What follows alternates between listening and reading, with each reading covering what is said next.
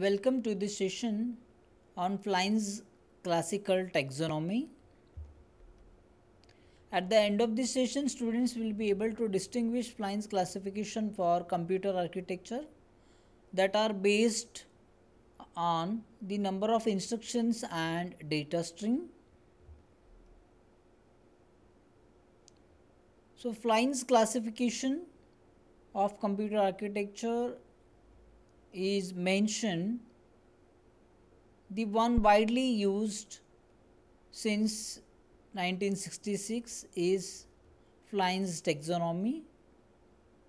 This taxonomy distinguish multiprocessor computer architecture according to independent dimensions of instruction stream and data stream.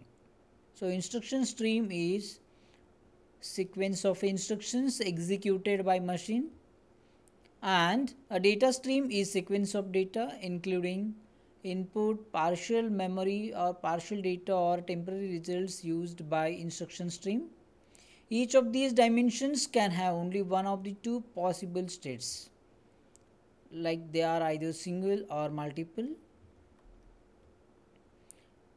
So Flynn's taxonomy is based on these two keywords will divide into single instruction single data single instruction multiple data multiple instruction single data or multiple instruction and multiple data. So one by one these Flynn's taxonomic classification we will check it out in the next slide.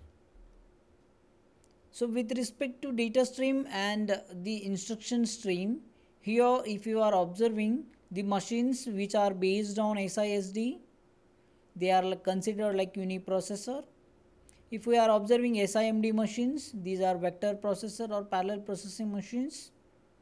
If you are looking MISD that is multiple instruction single data they are maybe pipeline computers and MIMD or the multi computers and multi processing machines. So in the SISD kind of structure here you can able to check it corresponds to the traditional monoprocessor that is Von Neumann based type of computers. A single data stream is being processed by one instruction stream that is at one time there will be we are going to execute one instruction.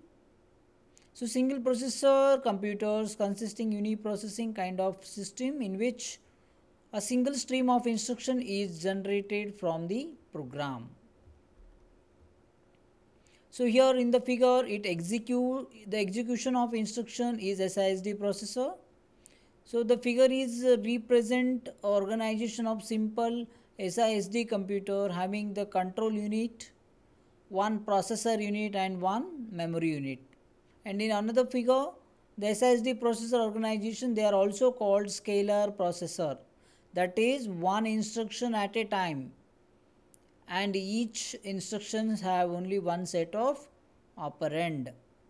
So single instruction only one instruction stream is being acted on by the CPU during any one clock cycle and single data that is only one data stream is being used as input during the one clock cycle. Clear? So instructions are executed here sequentially.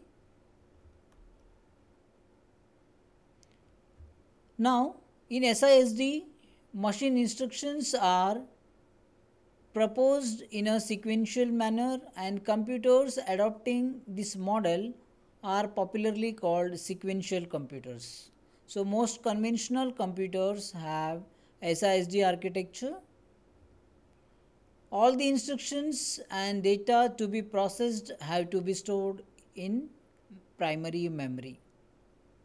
So the speed of the processing elements in the SISD model is limited that is here it is dependent by the rate at which the computer can transform information internally and the dominant representation here like IBM PC and workstations. Now I am moving to the second classification SIMD. So a type of parallel computer. Okay, very important keyword that is a type of parallel computer, a single instruction that is all processing units executes the same instructions is received by the control unit at any given clock cycle. Okay. So multiple processor executing instructions given by one control unit. Multiple data that is each processing unit can operate on different data elements. Here as you are looking in the figure. So the processors are connected to shared memory or interconnection network providing multiple data to processing the units.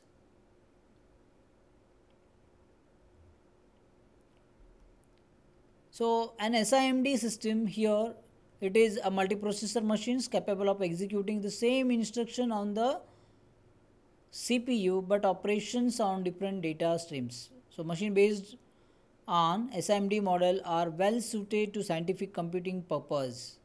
So the information can be passed to all the processing elements that is different processors. Organized data elements of vectors can be divided into multiple sets and each processing element can process one data set and the representatives like Cray vector processing machine. So here you have a uh, question what are the two streams of Flynn's taxonomy which are, can be either serial or parallel? So you have the four options.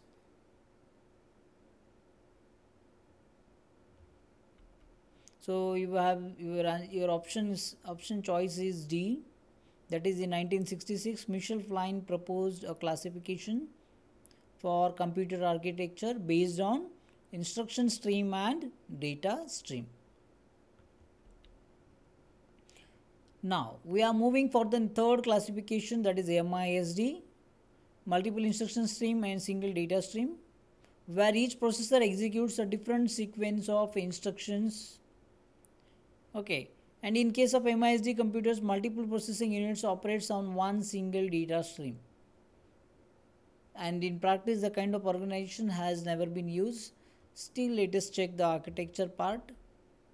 So here a single data stream is fed into multiple processing units.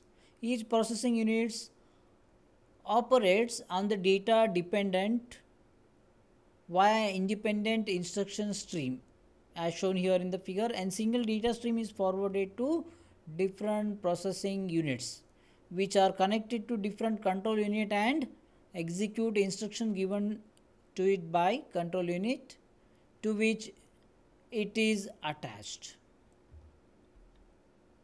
So an MISD computing system, it is a multiprocessor machine capable of executing different instructions on different processing elements but all of them operating on the same data sets. And the system performs different operations on the same data set machine built using the MISD model are not useful in most of the application. Okay, so though it is not used too much in the commercial part, okay, so we will move for the last classification and check how good it will be. So in MIMD that is multiple instruction stream and multiple data stream so here each processor has separate program. An instruction stream is generated from each program. Each instruction operates on different data. So the last machine type builds the group of the traditional multiprocessor. Several processing units operates on multiple data stream. So here we can able to check multiple data stream and multiple instruction stream. So most for example here this is the current supercomputers or like a parallel computer grid okay? So through the figures we will check multiple instruction is every processor may be executing a different instruction stream. Multiple data is like every processor may be working with the different data stream as shown here in the figure. So multiple data stream is provided by shared memory as can be categorized as loosely coupled or tightly coupled depending on the sharing of data and control execution can be synchronous or asynchronous. Fine. So an MIMD system is a multiprocessor machine which is capable of executing multiple instructions on multiple data set. and each processing element here in this model has a separate instruction and data stream. Therefore machine built using this model are capable of any kind of application. Got it? So here I have some my references. And specifically here I am going to use Kai Hwang